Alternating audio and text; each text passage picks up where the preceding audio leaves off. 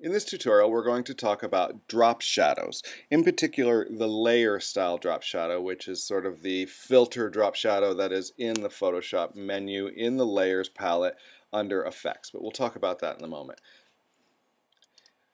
I'm going to create a drop shadow on this orange so what I need to do is I need to extract the orange from its background and put the orange on its own layer on a new background. It's going to look exactly the same, however we need a space for the the shadow to sit. So it actually has to has to originate from a selection or an object. So it can't, like if I were to create a drop shadow of this, I would get a drop shadow of the entire page, not just the orange. So to select the orange, this would be a great one, obviously for the Magic Wand tool because we have a, a background that is white.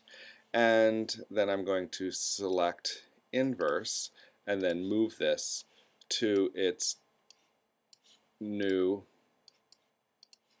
um, new background. So before I do this, I would actually like to change the, actually I'm going to make it be that way a little bit because I would like the light source obviously to come from the upper right. You can see where the light is hitting the orange and where there's an inner shadow here and the drop shadow is going to fall off the object. But I would like to change the brightness and contrast of this so that this is a little brighter and the contrast or the dark shadowy spot is a little bit more pronounced.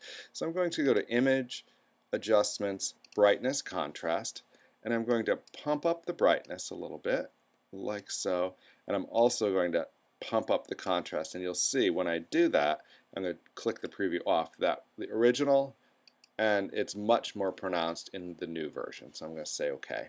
So now the, the layer style drop shadow is right here. If you go to the layers palette and there's a little um, icon down here that says FX in cursive and if you hover over it says add a layer style and hence the reason layer style drop shadow and I'm going to click that open and all the way toward the top here is one that's called drop shadow.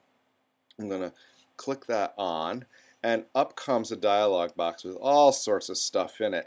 And it looks very confusing at first but we are going to simplify this as best I can because I like to do things more visually than by numbers because there's all these like angle dials and numbers and and pixels and percents and all of this is very very nice but we can do this simply by viewing and, and using our eyes.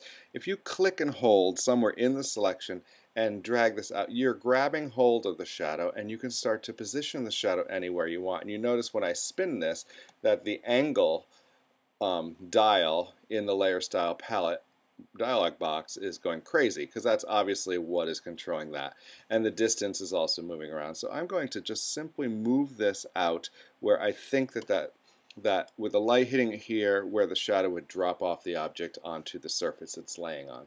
Obviously this is quite harsh so this is where we need to change it in the dialog box. The distance is taken care of by simply dragging it out to where we want it and the angle is taken care of by dragging it to where we want it. The spread is something we don't really have to deal with right now but the size I wish it was actually say softness or hardness, but the size is actually how soft or hard the shadow is. So as I slide this, you can see that the shadow gets softer and more realistic looking. So by eye, I'm going to slide it to where I think is a good place, and then I'm going to say, OK.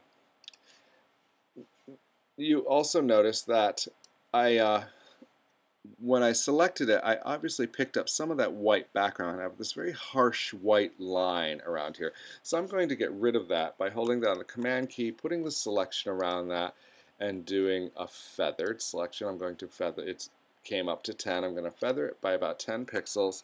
I'm going to select the inverse and then hit delete one, two, three, four times, I think. And then when I deselect, there it is. The, the um, white line that came along with the old background is gone. We have this nice shadow. Now if I want to modify that shadow at all, if you double click on under the layer, the drop shadow effect is listed there under effects and if you double click it it'll bring that box back up. I think that I'm going to reduce the opacity of this drop shadow so it's a little bit less harsh and maybe reduce the size a little bit so it has a little bit more of a sharp angle along here and then say OK.